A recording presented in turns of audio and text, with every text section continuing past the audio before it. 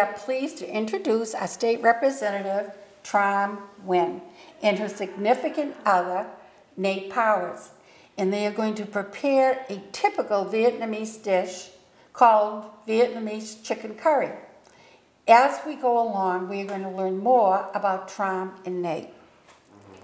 All right, so uh, as Joan introduced, we're doing Vietnamese chicken curry. It's called cà ri gà in Vietnamese. And Nate is actually the main chef today. And if you can get started with the onions, that would be great. We're using Vidalia onions um, because they are sweeter and we prefer them to be sweet. But you can really use any type of onions. We really like onions, we use a really big one. If you don't, use a small one. You can cut it out of the recipe entirely if you need to, but um, it's better with onions, trust me. Obviously everyone knows how to uh, you know, peel an onion, but we want to make sure you see uh, how the size that he cuts it because the size, you don't want to do it too small because you don't want it to disintegrate in the, the chicken soup or, um, or stew rather. And so we're going to cut it a little bit bigger um, so that, uh, you know, it can keep um, its shape. Is this more of a stew? It is. It's yeah. more of a stew and it is, um, it has a lot of different things. So I cut it three ways going across and yep. then kind of like and then bigger chunks. Bigger than that? Yep, that's great. I love the smell of those I love it, yeah. Vidalia onions are great. You want to make sure you see the size. It's um, pretty good, good sized chunk here. So that, that's it. And now we'll also show you how to cut the chicken so that you know the size. Um, this is a very popular dish in Vietnam. Uh, Vietnam was uh, as I mentioned to you earlier in our conversation, Joan, we, uh, we were colonized by the French for 100 years, and so a lot of our cuisines are very much French influenced. So we tend to use some of the influences of French in our cuisines, but a lot of the, the recipe you can see is like Vietnamese based, and I'll tell you more. So Nate will... First, I, I want to cut across this joint here.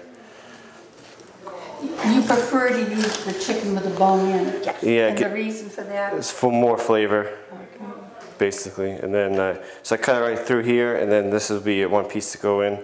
So one lucky person will get this big piece here. Yeah.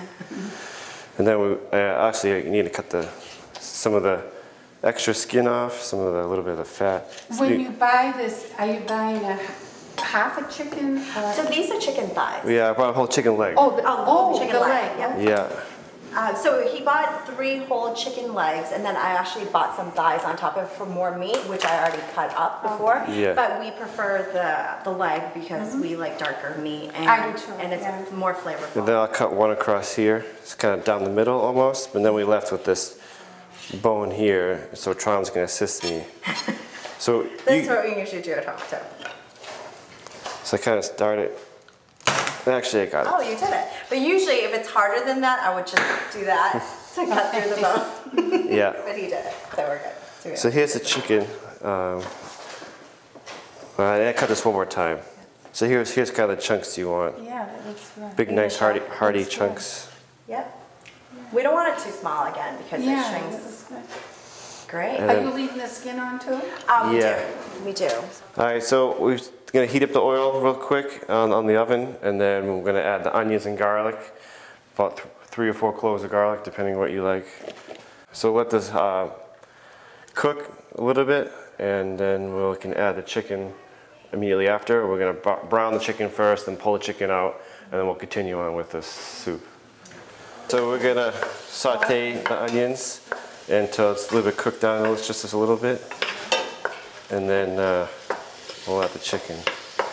We used, um, for the chicken, we used three legs, three whole legs, mm -hmm. and three pieces of chicken thighs, three or four pieces of chicken thigh. I think that should be enough for this pot. If you have a bigger family, obviously, um, put more in. But we don't want to put too much in because we also have vegetables, vegetables sure. that we want to throw in there. How, that looks like a lot of chicken. How many people would you have? Um, Nate eats me and I eat a lot. you eat the two, you eat all that? No, no, no, not in one meal. But also we, we do for meal prep too. So, you know, we can cook once and then oh, we'll sure, use it. Yeah. It's actually better the second day. as Of leftovers. course, like most things Yeah, like like most foods. So we fruits usually eat, you know, each a bowl when it's done, and then we'll pack it for lunch um, the next day, maybe two.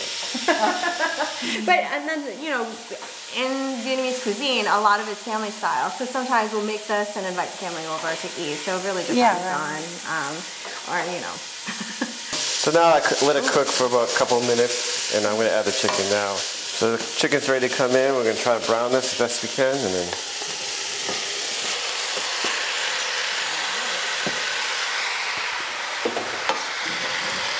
And do try to spread everything out. This helps, does two things, helps the chicken cook faster and also, with it, I feel like it's a little bit more flavor. Uh, it kind of renders some of the fat off the chicken. Traditionally, do you serve it with noodles or rice? Uh, so you can eat it with rice. A, a, a lot, um, for many Vietnamese cuisines, we use rice, but for my particular family, because we're from the city Saigon, we like to use French bread, French And baguette. why is that? Because we were influenced by the French, and uh, it's a preference. We like to dip the bread into the stew. Um, this is served in many Vietnamese restaurants in Vietnam that way too, Mm-hmm. with the French baguette. Um, and so we prefer it that way simply because um, we like the flavor. But you know, I actually like this with vermicelli too. It's good. Oh, the, yeah, the yeah, white yeah. noodles, um, we tend to do that. So they're very versatile. Um, and while the chicken's cooking and Joan's helping us over there, we're gonna try to peel Oh, boy. this. But I think I'm gonna peel the um, ginger first, because I think you can throw it in there for it to make it to Yeah. more of the fragrant. Um, and it's just peeling it. This smells so good. oh my gosh. Right? This smells. You don't have to use the whole piece. I'm only just gonna use a little bit of this. And then you just cut it and then small thin slices. As you can see here, very small thin slices. And what we're gonna do is we're, you don't want it too small. Um, I don't actually like to eat the ginger. So what we're gonna do is just throw it, throw it in there for the flavor and then scoop it out after. So just carrots. I've actually cut up a bunch already, but I want to make sure that you see the size of it. Again, we don't want it too small because they're gonna cook in it for a while and we don't want it to just melt away. So we're gonna let the chicken cook and we're gonna pull it out and then we're gonna add the dry ingredients and then the broth and coconut milk. We'll let that boil and once it starts boiling then we can add the vegetables after. Right. And so I do it about an inch, like this. And for this piece here, you can see it's kind of thick. I like to slice it in half. The thicker part. Same thing with, um, so the recipe calls for, you know, just like white potatoes, but I prefer um, sweet potatoes. We prefer sweet potatoes, so we like to add both. Um, but you really can use any potato, even red potatoes. Have we used red potatoes in this before? Probably, Probably you- not. but we can. Whatever you have.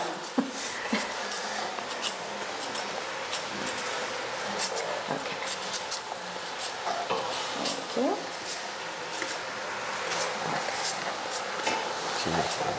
you go. All right. Cut the ends. And then so I like to do it um, probably one inch as well, like the, the carrots.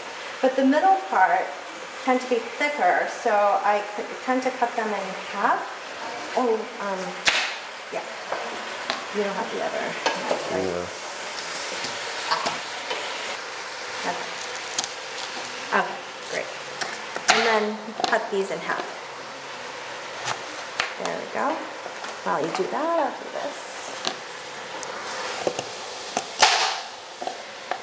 How's it going over here? I think it's going fine. What's your opinion? Yeah, oh, it looks good. You see all the juices? Yeah, it, You want to show the, the Yeah, camera coming out what the it looks like now, kind of? Mm-hmm. chicken. Ground chicken? Do you want to tilt it, Joan? Oh, Tilt the yes.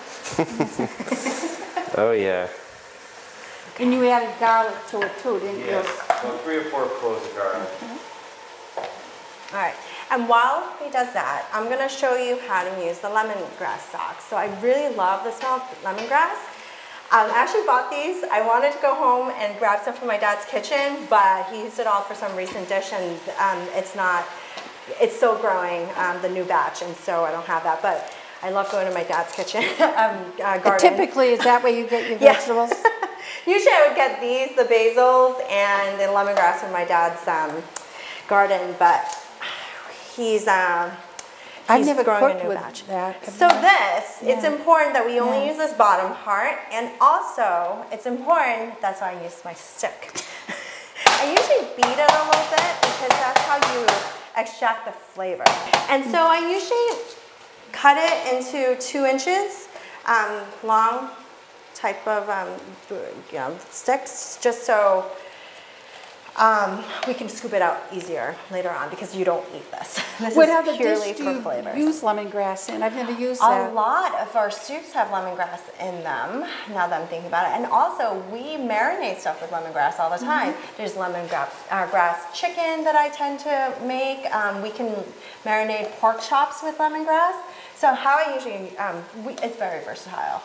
But you don't eat it, but you you can eat it. You oh, can eat it for those other dishes, but for this one, I mean, you don't eat it big pieces like this. If I marinate it, I would chop into like tiny, tiny, tiny little Okay. pieces like this, and really finely chop it. Then you can eat it that way. But Mm-hmm. it's hard to eat it when it's this big, and we only want it for the flavor for Mm-hmm. this particular dish, um, and we don't eat it. But you can eat it if you want to. Look what a good job I did. I know you did great. Smells amazing.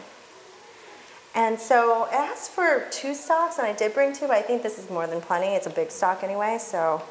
Um, it, oh, I tend to cut in like half lengthwise as well, just so it's not too big when you're cooking. Gets more it. flavor probably. huh? Yes, you're opening up the flavors. Yeah.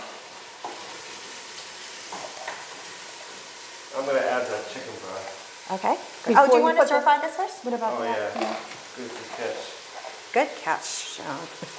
Here you go. There. Gotta release some of these flavors here. Yeah. Oh, Do you have to put this in now? No, also? so this is only for garnish. Oh, so basically, when you um, once you're done with everything, you put in a bowl. You put a couple of pieces on top, Oh, so it looks nice. yeah. But and you obviously can eat this. So for this, I cut again one um, one inch, and I would cut these bigger pieces into threes, like so. Wow, look at this. All these I know. veggies gonna go in it. It's a lot. And there's uh, some browning on the bottom of the pan, and the chicken broth will release that. You know, Yep. Nice flavor. So there, the recipe calls for one cup. I use more than that and um, a lot more than that. Do you think we'll need more? Because just because um, we're There's we've so got much- so much chicken and Yeah. and um, All those veggies. vegetables, Yeah. yeah. So let's see. This thing is 32 ounces. We use um, we use two. That's a lot. That's a lot of soup. It's a big. But you have a lot of vegetables too, no need that. Exactly. So two 32 ounces. We're gonna let this come to a boil, and then uh, we'll add the coconut. So the broth is boiling, and we're gonna add the ingredients. So I like to put rock sugar in. You don't have to. I just like the flavor of rock sugar. I usually put three Where do you get rock sugar? in Asian markets. Actually, most of the ingredients I got. There's um, one Asian market in um, Lawrence I normally go to. There, there are also several um, in Lowell. Oh, great. So it depends on you know What's um, available. And then we also have um, brown sugar. So this is important to um, to add the sweet to it. Let me see. We usually eyeball, so I usually go by the recipe. The recipe asks for two tablespoons of brown sugar.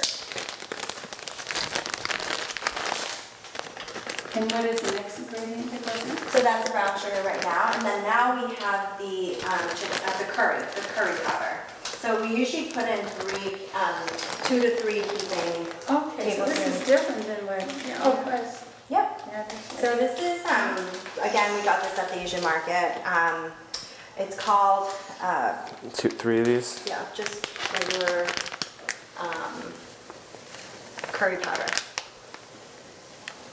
This one, because I got it at Vietnamese store, has Vietnamese on it. but it literally translated to curry powder. Thank goodness I read it right. I think that should be plenty. So we put three because we like the smell of curry. If you don't, if you want, you know, less You curry, yeah, you to can totally taste. do it to taste, yeah. And then um, salt and pepper. Obviously, you do that to taste as well. And the fish sauce that calls for two tablespoons of the fish sauce. So we like to use this brand. It is the XO brand, again, in the Asian market, but I know they have a different brand in Market Basket Okay. that I've used before. Works fine.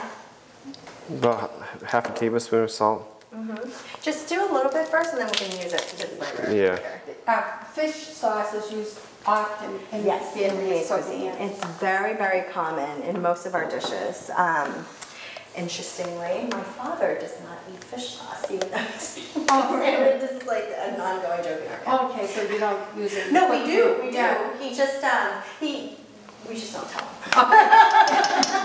Now he knows. Now he knows. How many, how much? Yeah, yeah. Two tablespoons. It's like one of those things that he just prefers not to know. Yeah, right, right. it, He's just like, I don't like it. But then he can't tell the difference. so that's the fish sauce. And then pretty much after that, you just let it boil a little bit more and then you add in the coconut milk. So we use one whole, we're gonna use one whole can. Um, you can, u- you can buy this at Market Basket Yeah, as well. I've seen that, yeah, yeah, yeah. Shaken well. Let's You wanna shake it really well? Pre-shook shook the, Shaken well, shaken well. um, you want to shake it really well because a lot of the It coconut can stays feel sometimes, huh? this separates. Can you do me a favor and smell this, see if it smells good? Let's see. I'd love to do that. Does it pop past your nostrils, test? It's wonderful. It's wonderful. Do you want me to stir it while you do something else, or Uh, up to you? Well, we're gonna add, just add all the ingredients now. Yeah. Oh, okay. We'll let that kind of simmer just a little bit, we're gonna add everything.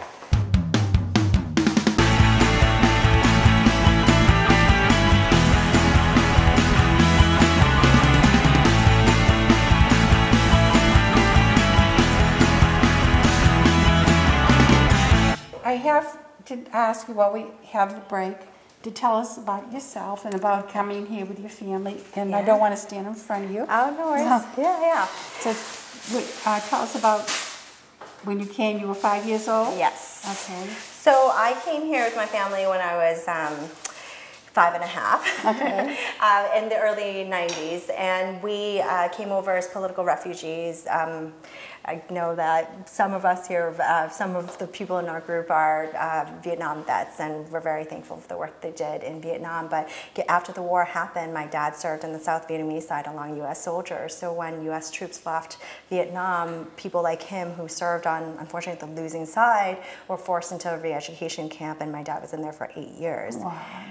And so, given his time in the re education camp, after he came out, he was completely blacklisted, couldn't find work, couldn't find a job. And um, under the Humanitarian Operation Program, um, it was a refugee program at the time that the US government allowed people like my father.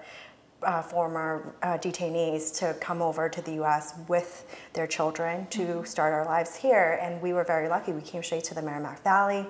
Um, I went through the public school system, and I mean, even though I never grew up in Tewksbury, I played a lot of tennis against Tewksbury. and I've had a lot of friends over here, and so I'm very happy to be back and now representing uh, the 18th Essex District, which includes Tewksbury, North Andover, Andover, and Boxford.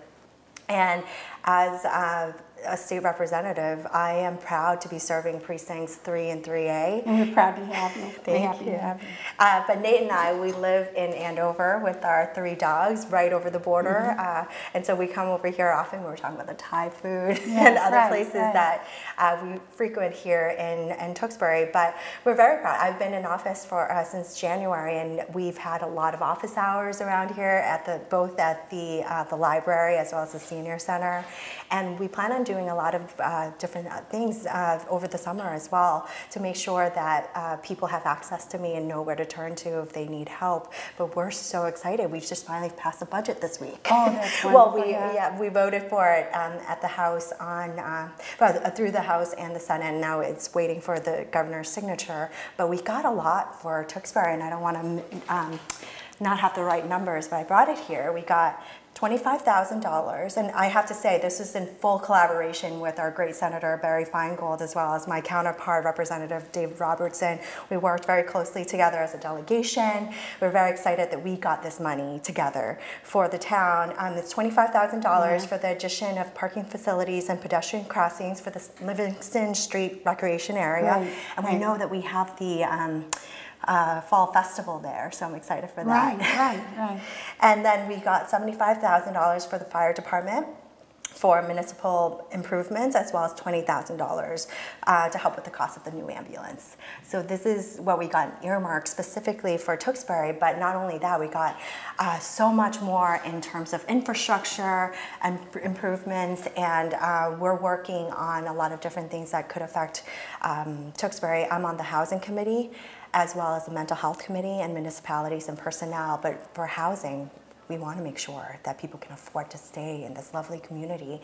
And for mental health, of course, we have to deal with the opioid Right, crisis, right. and we're, we're putting a lot of money in for prevention as well as treatment. And we want to get feedback from the people as to what mm. works and what doesn't, and how we can do better, and how we can work with our community to make sure that we are providing the resources that everyone needs. And this was a lot about, the- our chief is helping with this too, with the mental health issues. Yes, yeah, that's great. Chief Sheehan, yeah. And we know that the Tewksbury Hospital does a lot of work in the community, and we want to make sure that we're giving them the support that they need as well. But it's been great work coming in with uh, Representative Robertson and the senator. Yes, we both three- three are started doing a great in job. The three of you are January, so we see each other pretty often, Yeah. and we're uh, we're thrilled to um, to do this work in collaboration with local elected officials. We reached out to them and said. What, what do you need? Yeah. What, what are the projects that needs funding? How can we help and how can we advocate? I know the new schools coming in, so uh, the delegation came went to the M- MSBA along with uh, um, Dennis Franz, uh, Francis. Yes, yes, yeah, yeah, yes. uh, to um, Yeah. uh, to advocate for funding, and we got it, which is great. Well, we're proud of the job that you're doing. Thank you. And I'd love to have Nate tell us about himself. Uh, I just normal guy, quiet, Who cooks? cooks, does all, you know helps out as much as I can. Um, I like to, you know we, we have three dogs like she mentioned. We go for walks, hikes. They love hiking. We go uh, you know all the Harold Parker exploring. Um, Do you see coyotes when you go there? we, we there's uh, coyotes in our yard uh, often enough Yeah, actually, too, yeah. and foxes and deer and the dogs Yeah. chase all Turkeys. of those, those. Yeah, and we had a turkey on our roof just a couple weeks ago. it's a true story. And what do you do for work? Uh, I'm a mechanical engineer, and I work with optics and sensors, and go to s- outer space or or farm farmers, and they, Cran- they the cranberry thing. cranberry. Yep, they like to like for more like inspection, and so um, they can use it for different for crop disease to help prevent crop disease, or or they can look send them out of space and they can monitor CO2 emissions. Um, so all, all sorts of things, and I sometimes travel. Uh, I went to Japan, uh, helped, I installed some software systems in there. And I, I, your background is that you're an attorney. I wanted to bring that up too. Yes. And it, may I ask how you two met? Oh, funny story. We actually went to high school together.